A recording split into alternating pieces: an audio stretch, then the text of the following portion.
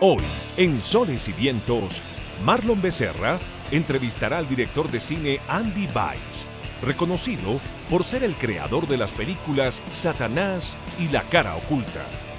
Este joven director nacido en Cali se ha posicionado en poco tiempo como uno de los más importantes realizadores colombianos, gracias a la excelente técnica de sus películas y a la calidad dramática y estética de las historias que cuenta. Gracias a esto, sus películas se han exhibido en varios países, dando grandes aportes a la industria cinematográfica colombiana. Con ustedes, Andy Weiss. He visto tu última película dos veces, La cara oculta. Creo que el, el cine hacia el futuro va a reconocer tu trabajo, porque le has entregado elementos nuevos al cine colombiano. Esta es mi primera entrevista de este año y yo la quería así, ¿sabes? Qué, qué bien.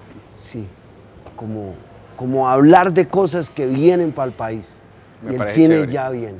El cine ya viene con toda. Sí, con todo. Con toda. La gente se siente orgullosa cuando ve esta película porque dicen, wow, se está- estamos haciendo este tipo de cine en el país. Y eso es lo que más me ha alegrado a mí. Es como el orgullo que siente el espectador de saber que, que es colombiana.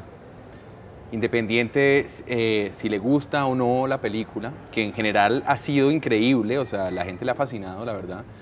Es como se sienten orgullosos que la película sea colombiana porque están viendo algo de mucha calidad, una historia muy internacional, una historia de emociones, de sentimientos, donde uno se olvida de la parte cultural de nuestra idiosincrasia, ¿no? Ajá. Que no necesariamente recordarla es, es algo malo, para nada, pero simplemente es, un- es una mirada diferente del cine. Total. De género, esto es un cine de género, absolutamente, y se han hecho muy pocas películas de género en el país. Y el género necesita estar realizado de forma contundente, de forma que enganche, de forma que te haga sentir emociones. El, el género no se puede intelectualizar demasiado. Y eso es lo que yo creo que la gente se agradece. Me conecté y nunca pensé que era colombiana, simplemente me entregué a una película. Y eso, eso es bonito. Voy a empezar por una pregunta simple y elemental, pero me toca. ¿Quién es Andy Weiss? Andy Weiss es Andrés Alberto Weiss, en realidad, caleño, eh, una persona salsera además, por, como buen caleño, muy salsero, y amante del arte, amante de la creación. Para mí además el arte no es solamente la escultura, la- el, el- el teatro, el- la pintura, la música, la- el arte es la creación. Si alguien crea algo, así sea cocinando, en la jardinería, eh, en la profesión que sea esa creación, para mí eso es arte y eso, soy un enamorado de eso, de, de levantar el espíritu humano a través de la creación. Soy una persona mm, que me gusta reírme, creo que la, la risa y, el, y la buena energía y la burla y el sorprendernos, pero burlarnos de que estemos sorprendidos es para mí muy importante. Eh, no me como nunca el cuento entero, jamás. Una persona que pone en duda todo y por eso no paro de sorprenderme, porque eso invita a la curiosidad. Ese soy yo, y una persona que obviamente es enamorada del séptimo arte, que llaman, porque eso no hay ni séptimo, ni sexto, ni quinto, ni cuarto, es simplemente una forma de creación.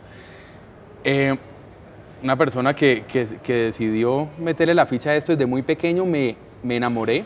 Yo nací casi ciego por un ojo y algo en la visión me, me enamoró. Y ahora estoy haciendo películas que fue mi sueño desde pequeño.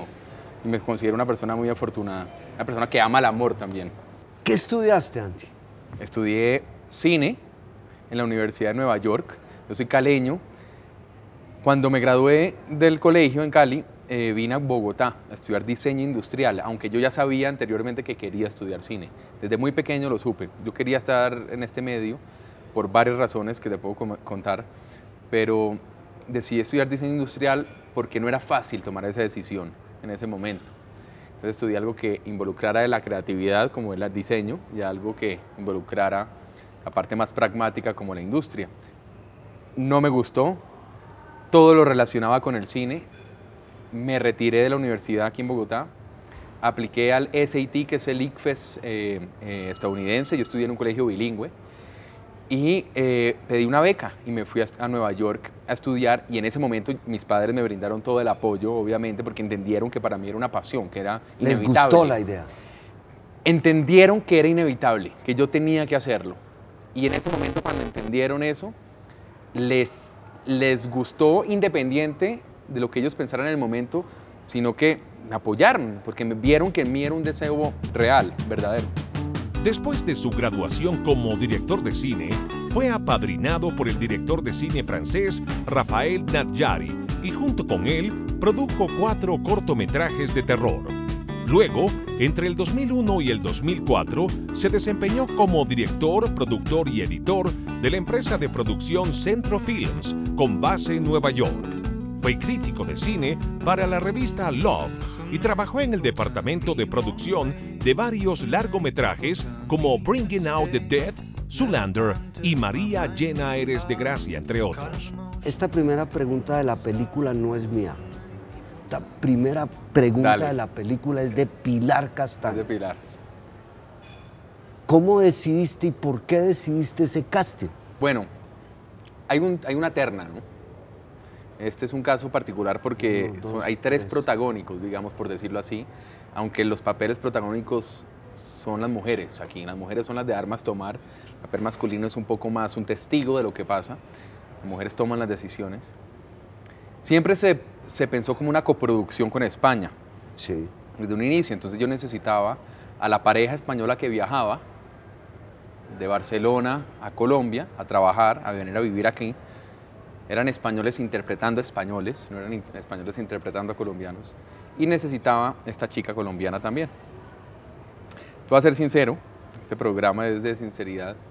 Yo sí pensé en un, en un, en un cast más adulto en un principio, sobre todo por el director de orquesta, porque uno siempre tiene la imagen del director de orquesta más, Más maduro. curtido, más maduro, ¿no? Con ciertas canas. en su- Más en su seguro. más seguro. Cuando entró Fox, porque la película eh, era antes con, sin Fox, y después entró Fox a terminar de financiarla, que fue afortunado, que fue algo muy bueno. eh, Fox dijo, hey, estamos entrando a tu película, nosotros no te estamos contratando a ti para hacer la película, es tu película, nosotros estamos entrando, respetamos tu visión, pero es necesario para nosotros que el cast sea, cast sea ju- joven, que sea sexy. En un principio tuve un reparo en ello, pero accedí a decir, bueno, voy a buscar la fuerza en esto, porque en últimas la música no es protagónica en la película, es decir, la- él como director no es algo protagónico, entonces no tenía que decir, bueno, esto es una película que tiene erotismo, que tiene deseo, que tiene sexualidad, que tiene celos, que tiene esa- ese amor un poco inmaduro, ¿no? Que, Ujú. que- que viene con, con los primeros momentos del enamoramiento. Entonces dije, listo, entiendo para dónde quiere ir, voy a escoger un, un cast más joven. Entonces accedí. Digamos que ahí empieza uno a trabajar en conjunto con, con el estudio y uno tiene que ceder un poco y saber qué peleas pelear y cuáles no. Dije, listo, entiendo. Y ahí conocí a Kim Gutiérrez a Clara Lago, les hice unas audiciones, como le hice a otros actores también. Y ellos fueron Españoles. españoles, y ellos fueron los elegidos. Martina llegó al final. Martina, ya una vez teníamos la pareja. Martina, yo ya había trabajado con ella en Satanás, la conocía, digamos, sabíamos cómo trabajábamos. Y ella me gustó por una razón. E- Ella, ella termina siendo una especie de antagonista en la película, ¿no? De pronto Sí. para los que no han visto la película no saben, pero ella termina siendo una especie de antagonista y Martina no está acostumbrada, acostumbrada a estos papeles antagónicos. Ella siempre es eh, víctima, frágil, y aquí me gustaba que hiciera lo contrario. Entonces por eso terminé escogiéndola a ella, además porque me parece que es muy profesional, de- desde luego. O sea, no la escojo si no pienso que puede ser buena. Aunque la terna ha causado controversia. A alguna gente le gusta a él, a alguna gente no, a alguna gente le gusta a Martina, a otra gente no. Ella, ah, por lo contrario, Clara Lago a la gente le gusta más. Claro, ella tiene el papel más retador. Las emociones se ven a flor de piel. Entonces, eh, desde luego, ella, ella es como la protagonista de la película. Ya regresamos con Soles y Vientos de Marlon Becerra.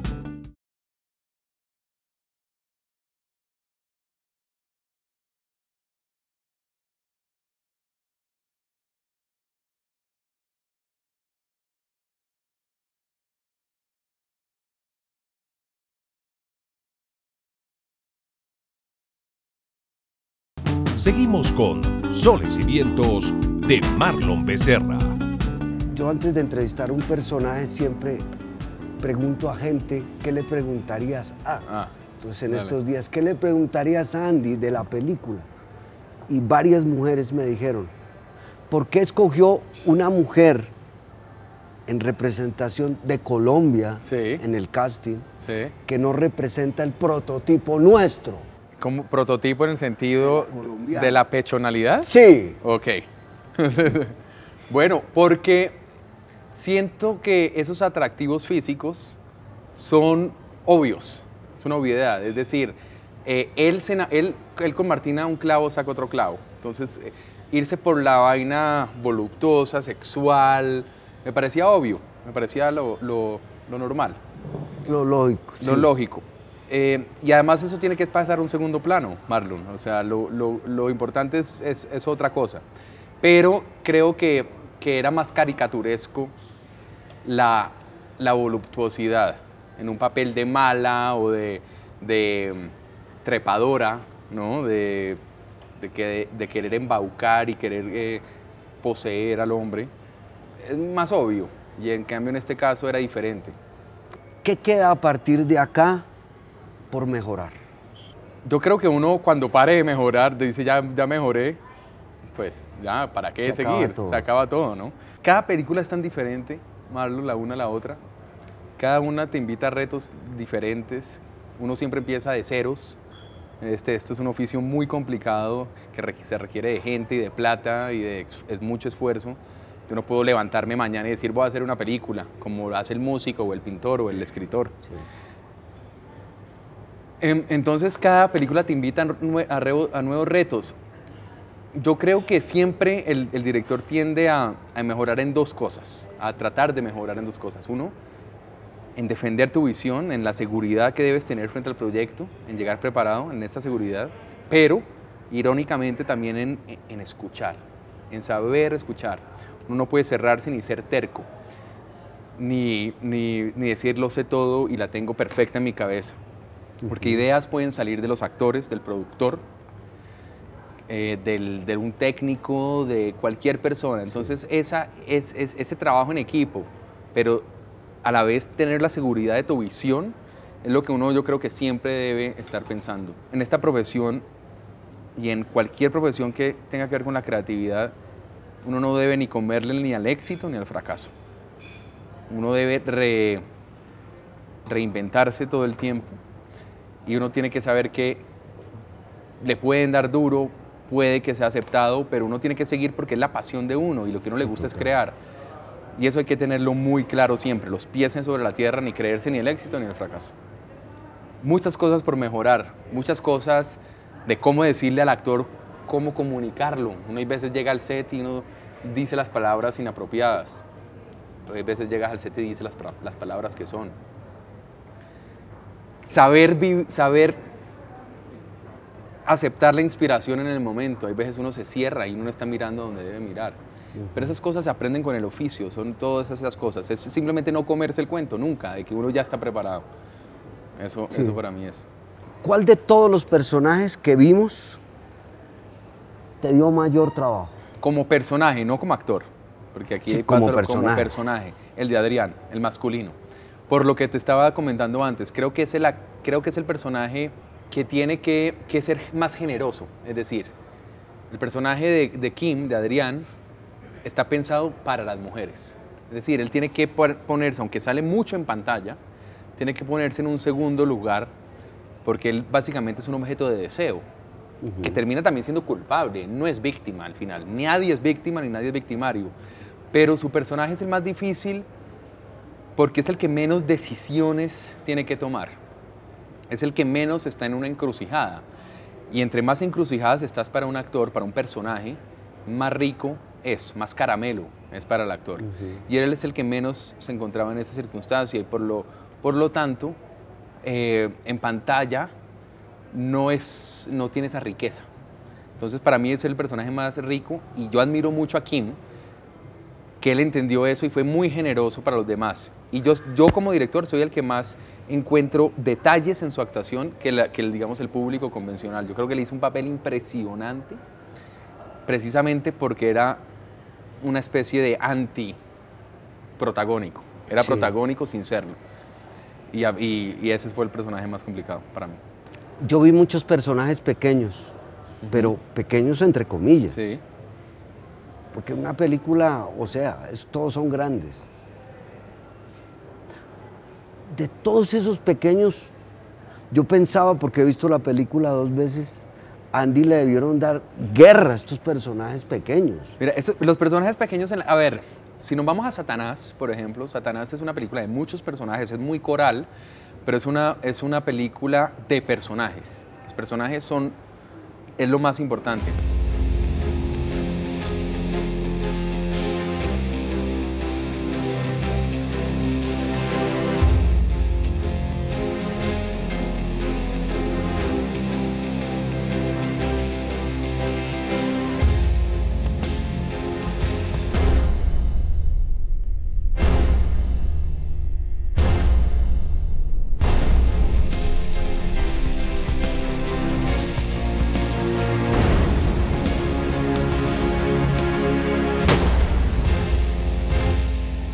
Te das cuenta, La cara oculta es una película más de trama, es una película más de truculencia, de género, de estructura, de sorprender, de por acá. Los personajes eh, son un poquito menos importantes que la trama. Hay, hay, digamos, dos vertientes. Satanás es diferente. Aunque ambas películas tienen personajes ambiguos moralmente, que eso es muy interesante, que creo que las une. Sí, pero lo que te iba a decir es que esos personajes secundarios en La cara oculta son personajes muy funcionales. Es decir, cumplen una función. No son personajes que están construidos, ¿no es cierto?, de una forma, Sí, total. ¿no es cierto?, muy profunda, ¿no? Son personajes que se quedan ahí para cumplir una función. Y eso a veces es necesario. Claro, si tú dices, bueno, no hay una profundidad, no hay una trascendencia de esos personajes, pero cumplen una función. Mira, yo veo esta película como una fábula, es una fábula, es una película contenida que crea un micromundo donde los personajes no salen, no hay familia, no hay amigos, todo es muy contenida, es hermética como el búnker mismo que atrapa al, personaje. Total. Y en ese sentido de fábula es como se debe apreciar, es una cuestión muy inverosímil, pero que la trato con mucha verosimilitud.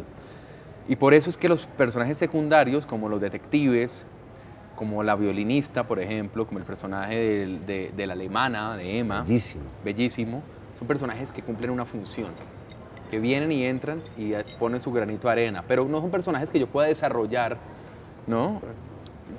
Con profundidad. Como director, Andy Weiss ha dirigido cinco cortometrajes, tres videos musicales y un documental. Luego del éxito de su primer largometraje, Satanás, adaptado de la novela del escritor colombiano Mario Mendoza, estrenó en enero del 2012 La cara oculta, que fue estrenada en Colombia y España con una excelente acogida por la crítica y más de 400.000 espectadores en las primeras semanas de exhibición. Hablemos un poquito de Andy. ¿Qué disciplina diaria se requiere para ya tener uno ahorita dos películas sin lío? No, no tengo ni idea, Marlon. Qué disciplina diaria. Yo, simple- yo amo lo, lo que hago. Estoy todo el tiempo pensando en esto. Hay veces procrastino, hay veces digo, no, perdí el tiempo haciendo esto, y veces me levanto con ganas y tengo una disciplina. Pero yo soy muy, no, no soy así. Yo soy así.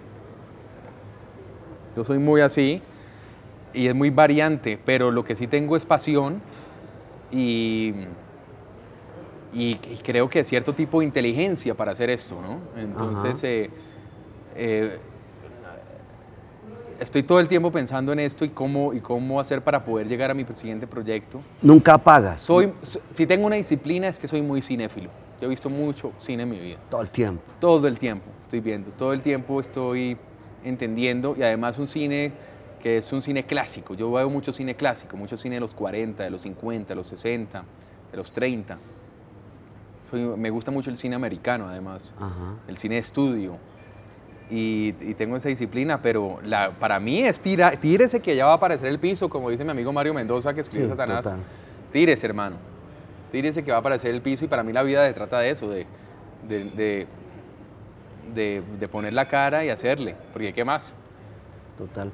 Anoche me vi una película que no me había visto de Guillermo del Toro, que se llama Julia. Julia. ¿Cu- ¿La viste ayer? La vi hace mucho La vi tiempo. anoche y la iba a pagar, pero dije no, me la voy a ver toda. Pero mi gran conclusión, es mejor la de mi amigo Andy Bay. Ah.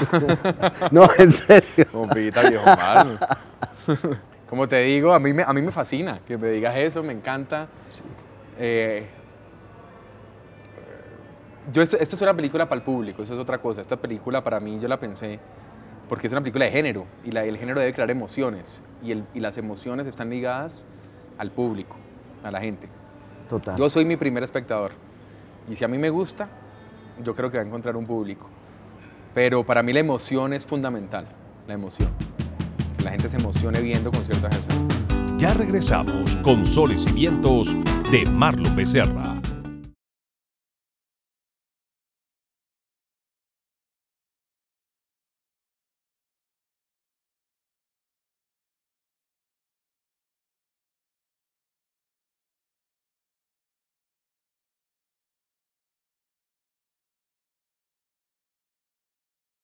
Seguimos con Soles y Vientos de Marlon Becerra. Háblame de tu sentimiento hacia Cali y háblame un poquitico de tus padres, Santi. A ver, Cali es, es, es, es una amalgama de sensaciones. Para empezar, tenemos, en términos de naturaleza, de, de- del aire que respiramos, yo creo que es de las ciudades más maravillosas que hay. Privilegiada. Ríos, fauna, árboles, samanes, unos farallones allá, un valle espectacular, una luz, un sol, una brisa a las 4 de la tarde, increíble. Eh, flores de todo tipo. Y yo he vivido siempre en Cali como muy rodeado de naturaleza. He visto búhos, iguanas, ardillas. eh, o sea, es, para mí eso es una cosa muy hermosa ¿no? que tiene nuestro país y especialmente Cali tiene, tiene eso. Y eso te contagia de algo, Ajá. de una maravilla, de, una, de maravillarse todos los días. Mis padres son unos sollados, son unos bonitos, bacanes, únicos, eh, con un carisma y con un amor hacia el otro. Es, es gente muy, muy especial, gente muy mamagallista, le encanta el humor. Yo creo que yo también soy un poco así. Cuando la gente ve Satanás, yo pienso piensan que yo tengo tatuajes, que soy calvo, que soy una persona que, no sé, como oscura. Ajá. Porque Satanás es una película fuerte y soy todo lo contrario. Y eso, es- eso es gracias a mis padres. Mis padres me han, más que, más que nada, me han enseñado como la, ser gocetas y vivir la vida y gozármela y sonreír. Y, y entender que hay frustraciones, que hay decepciones, que, hay, que la vida está llena de, de huecos, pero que en últimas hay que sonreír y que, es- que tenemos una vida y que hay que gozársela. ¿Qué tan fácil o qué tan difícil te ha tocado en esta vida? Más fácil que difícil. Creo que hay algo muy difícil y es seguir lo que uno quiere en la vida. Sí. Yo- y eso, y eso, y eso yo, lo, yo lo he vivido. ¿Sabes por qué es fácil? Porque yo siento que yo nací con una, con una vocación. Y eso hace que las cosas sean más fáciles. Yo siento que yo nací con algo que yo quería hacer desde muy pequeño. Independiente de lo que te pueda pasar, esa vocación te hace tan fuerte que parece que las cosas fueran fáciles, porque no tenés otra, no, no, no puedes pensar en nada más, no, no, hay, hay un camino. Así fracases o no, hay un camino. Y eso siento que me lo hace fácil. Ahora, independiente, claro, he tenido gente que me ha rodeado, que ha sido muy importante en mi vida, creo que he tenido buenos profesores en, el colegio, en la familia, en amigos. Entonces creo que la gente que me ha rodeado es gente que yo admiro, gente que me ha enseñado mucho y, y eso hace también que las cosas sean más fáciles. Ahora nos podemos hablar de tragedias, de muertes, de dificultades, de mil cosas que, que son parte de cada ser humano. Yo te podría hablar de esas, pero no quiero decir, no quiero caer en esa cuestión de hay cosas difíciles y no, soy una persona que he sentido que ha sido, que he sido afortunada. Los- mejores finales son agridulces. No digo que este lo sea o no, pero esos son los mejores finales. Una película de género tiene que generar suspenso. El cine no es una cuestión romántica, el cine es parte del negocio. Hay cosas que no me gustan de la película, hay escenas que no me gustan, pero son mis errores y por lo tanto las amo, las quiero. Para mí el esnovismo, ¿no? como el mirar por encima del hombro, el creerse más, para mí eso es detestable. Para mí el amor es la, es la fuerza destructora porque es una fuerza caótica. El amor escoge y dice yo amo esto y no amo lo demás, amo esto. Pero el amor es la fuerza más inspiradora que hay.